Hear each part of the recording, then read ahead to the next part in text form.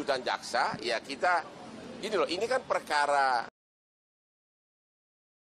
tim Baris Krim Polri ya. Saya juga mengucapkan terima kasih dan apresiasi yang tinggi-tingginya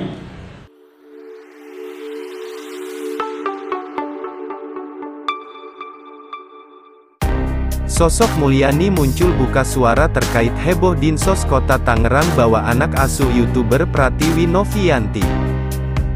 Lalu siapa sosok Mulyani Kadinsos Kota Tangerang? Diketahui Mulyani dalam pemerintah kota Tangerang kini menjabat sebagai Kepala Dinas Sosial. Berbekal latar belakang pendidikan menjalani pendidikan dasar di SDN 1 Panosogan Kabupaten Tangerang hingga lulus dari SMAN 1 Kabupaten Tangerang. Kemudian melanjutkan pendidikan D3 di Politeknik Keuangan Negara, Stan Tangerang Selatan. Lalu, dia melanjutkan pendidikan lebih tinggi strata 1, S1, di Universitas Pajajaran, Unpad, Bandung, Jawa Barat. Dalam satu pernyataan, Mulyani meminta publik tak percaya dengan provokasi yang tengah beredar. Sejak tahun 1988 menjadi auditor Badan Pengawasan Keuangan dan Pembangunan, BPKP, Jember, Jawa Timur. Sebelumnya, Mulyani sempat mengemban sejumlah jabatan penting lain seperti Kepala Dinas Komunikasi dan Informatika Kota Tangerang. Adapun Mulyani sudah merasakan bekerja di instansi pemerintahan. Inilah profil Mulyani menjabat sebagai Kepala Dinas Sosial, Dinsos Kota Tangerang. Setelah lulus, Mulyani mulai menjalani karir pertamanya bekerja di instansi pemerintahan saat merantau ke Jawa Timur. Sejak tahun 1988 sudah bekerja menjadi auditor Badan Pengawasan Keuangan dan Pembangunan, BPKP, Jember. Kadinsos Kota Tangerang, Mulyani dengan tegas memberi bantahan tak mengambil paksa anak asuh dari Pratiwi Novianti. Bahkan Mulyani menyebut bahwa pihak Dinsos hanya mendampingi petugas kepolisian dan Kemensos. Jadi, kami hanya diminta mendampingi petugas kepolisian dan Kemensos. Karena kebetulan lokasi kejadiannya di wilayah administratif Kota Tangerang, jelasnya dalam siaran pers dilansir kompas.com, Kamis, tanggal 3 Agustus tahun 2023. Sementara itu Mulyani selaku Kepala Dinsos menghimbau masyarakat untuk tidak mudah menarik kesimpulan sebelum mendapat informasi yang lengkap. Dengan ini, kami mengimbau masyarakat untuk tidak mudah menarik kesimpulan sebelum dapat informasi yang lengkap dan benar, imbaunya. Bahkan ia merasa heran dengan respons warganet yang langsung menggeruduk akun Dinsos Kota Tangerang lebih bisa menahan diri dengan pemberitaan yang ada dan jangan termakan provokasi, tegas Mulyani.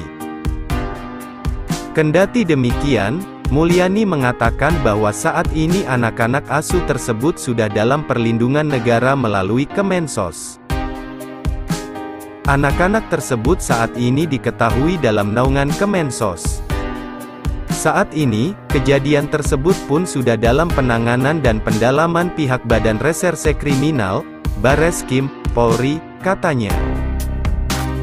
Mulyadi pula menghimbau masyarakat tidak khawatir karena anak-anak telah mendapatkan perawatan yang layak dari petugas. Hasilnya apa, indikasinya apa, merupakan ranah Bareskrim Polri yang nanti akan memberikan penjelasan, ungkapnya. Di sisi lain, Mulyani mengatakan, sejauh ini, Dinsos Kota Tangerang belum pernah menerima surat-surat pengajuan yayasan dari yang bersangkutan. Kota Tangerang memiliki jumlah yayasan sebanyak 140 lebih dan hingga kini terus mendapat pemantauan, pendampingan, atau pembinaan berkala dari Dinsos Kota Tangerang, katanya. Dia juga menyebutkan, aksi kepedulian urusan sosial memang perlu dibarengi dengan pengurusan pemberkasan secara legal, jelas, dan lengkap. Seperti diketahui, di kediamannya, Pratiwi membangun sebuah yayasan bernama Yayasan Rumah Peduli Kemanusiaan. Di mana yayasan tersebut merawat bayi-bayi dari ODGJ. Yuk simak lagi berita selanjutnya. Ketua Komisi Nasional Perlindungan Anak, Komnas PA, Aris Merdeka Sirait dukung Pratiwi Novianti ambil anak asuhnya yang dibawa Dinas Sosial.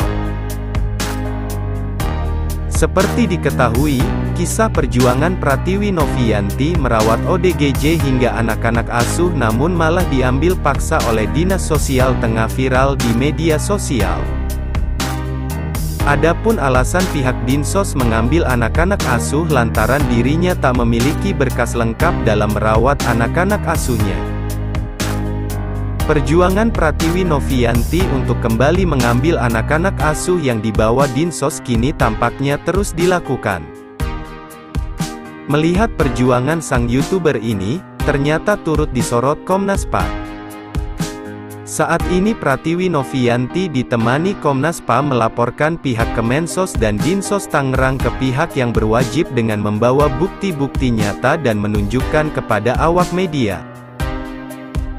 Hal ini terlihat dalam kolom komentar unggahan Instagram Pratiwi Novianti yang dikomentari oleh Komnas PA. Dalam komentarnya, Kompas PA turut mendukung Pratiwi Novianti mengambil anak-anak asuh yang dibawa Dinsos tersebut. Aris Merdeka Sirait juga menanyakan soal sertifikat izin apakah harus mempunyai terlebih dahulu jika membantu orang atas dasar kemanusiaan. Dukung relawan Ed Pratiwi Novianti garis bawah real, langkah kemanusiaan adalah cepat, apakah membantu orang atas dasar kemanusiaan perlu punya sertifikat dulu, perlu izin dulu, ucap Aris Sirait. Menurutnya, pihak Dinsos seharusnya membantu melengkapi izin legalitas dan mengarahkan dengan sesuai aturan pemerintah. Bukan langsung mengambil paksa anak-anak asuh tersebut. Seharusnya dibantu diarahkan didampingi diawasi, dibantu dilengkapi izin dan legalitasnya agar sesuai dengan aturan pemerintah. Semua stakeholder dilibatkan, tutupnya. Komentar Aris Merdeka Sirait ini sontak menuai komentar warganet lain yang meminta bantu kawal kasus tersebut.